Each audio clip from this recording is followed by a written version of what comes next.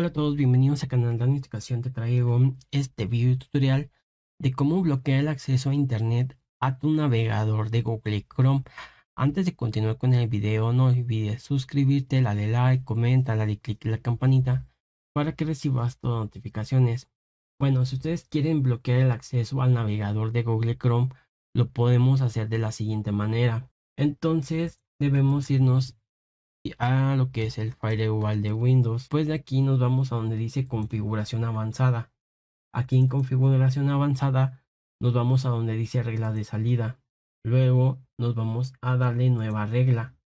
Nos abre esta ventana donde ustedes van a seleccionar la que dice este programas. Regla que controla las conexiones, las conexiones de un programa. Le ponemos siguiente y luego aquí ustedes van a poner el acceso a la ruta de su programa. Como tenemos el acceso directo del Google Chrome, nos vamos a darle clic derecho y luego nos vamos a propiedades. Aquí ustedes donde dice destino van a copiar todo esto sin las comillas y lo van a dar en, van a cerrar aquí y luego lo van a pegar. Le van a poner siguiente. Aquí van a poner esta, aquí van a poner donde dice bloquear la conexión le ponen siguiente, eh, dejan todo esto activado o dependiendo de lo quieran tener activado. Si tienen un dominio, pues ya este, pueden bloquear el navegador eh, de Google Chrome del dominio.